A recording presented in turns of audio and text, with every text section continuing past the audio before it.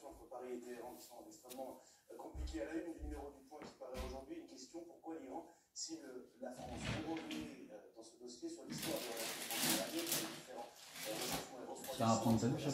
Et sur la révolte en cours depuis septembre, vous expliquez aussi comme la, la répression euh, s'exporte en France notamment, c'est voir une arrêtée qui avait recueilli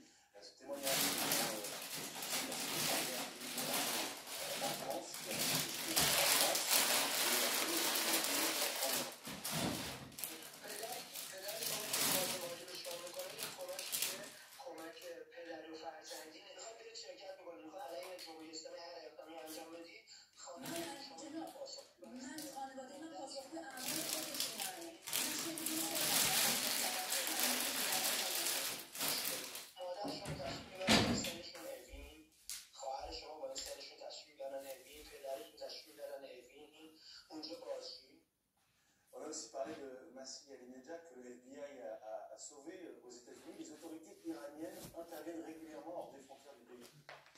Oui, les gars de la révolution